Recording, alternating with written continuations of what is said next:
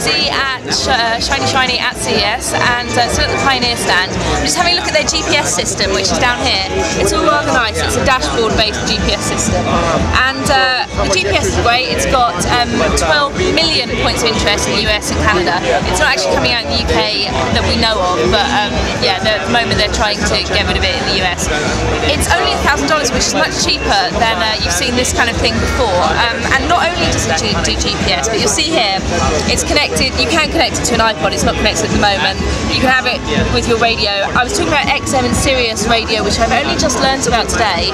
So it also works with those, and you can uh, use Bluetooth. So you can either stream music from your Bluetooth phone, or you can answer and make calls using the uh, Bluetooth capabilities as well. So uh, it really is hands-free, and as you can see, it's touchscreen. So there's also no fiddly little stylus that you have to start stabbing at things with, which is also a good thing. So $1,000, again, it's cheaper than we've seen before, so uh, more exciting stuff for Pioneer.